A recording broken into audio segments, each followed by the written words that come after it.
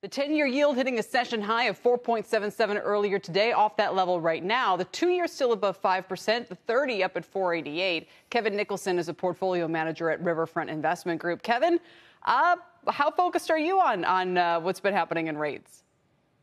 I'm very focused on what is happening in rates because I think that rates drive the world right now. And you know, earlier this week we saw the 10-year Treasury uh, cross over 4.8 percent, and I think that uh, that's an important uh, gauge because ultimately, I think that the long end of the curve is going to anchor itself right around 5%, uh, as many investors start to try to uh, lock in these higher rates. Um, that are uh, we are experiencing um, because when you think about most uh, folks that are uh, thinking about taking off uh, taking out uh, withdrawals every year they're thinking about you know 4% is what you know most financial planners have uh, put in place and right. now you're talking about getting a risk-free rate that's you know closer to 5% no, I, we were kind of joking about this before. Like, can ever, why do you need a 401k if you can just buy a 30 year treasury at, at 5%? But the problem is that that doesn't keep up with inflation, right? That, that 5% is, uh, you know, that's, that's nominal dollars and it's not going to grow with the, with the stock market or anything like that. So, but yes, it's totally crowding out people from other investments. And, and this is the kind of liquidity hole argument that Bridgewater and others have made that until there's some other major buyer of treasuries or the yields stop rising, it's hard not to draw capital out of other assets.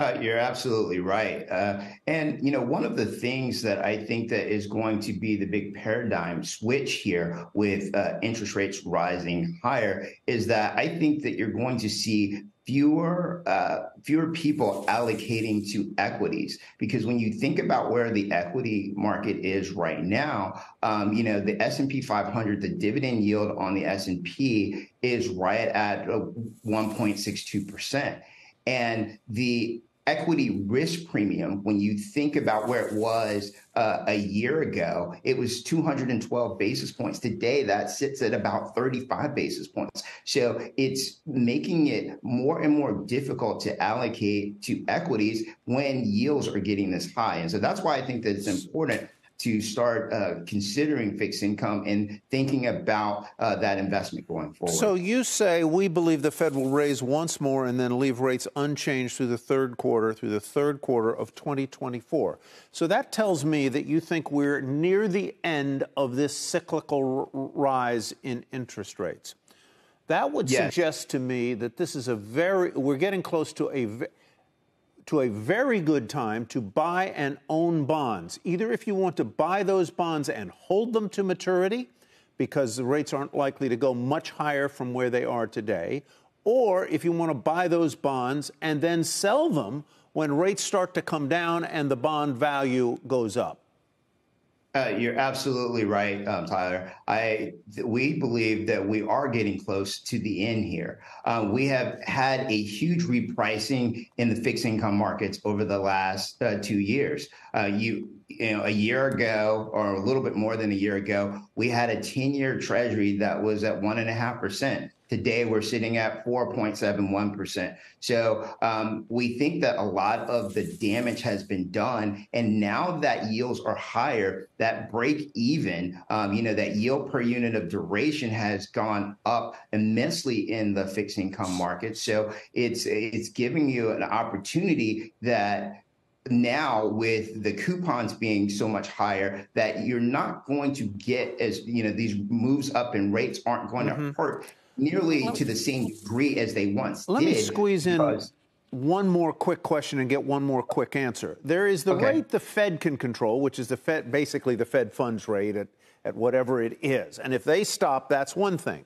But the rest of the market is not controlled. It may be influenced by the Fed, but it is no is not controlled by the Fed. It is controlled by private buyers, which can include the Fed, uh, but but generally not. Do you see if the Fed is done, could the rest of the market nevertheless continue to rise in interest rates because of the fundamentals or the mechanics of that market?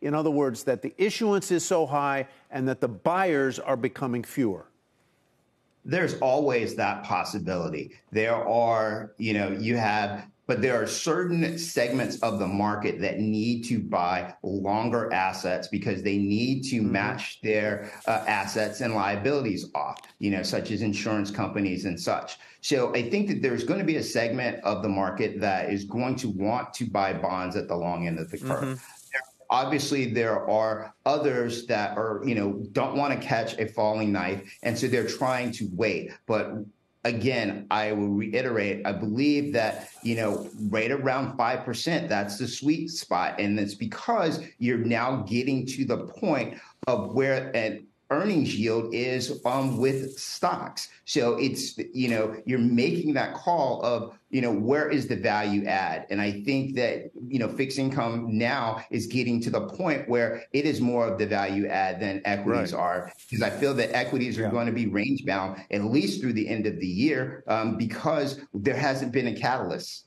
Okay. Kevin, thanks. Kevin at Riverfront Investment Group. Kevin Nicholson.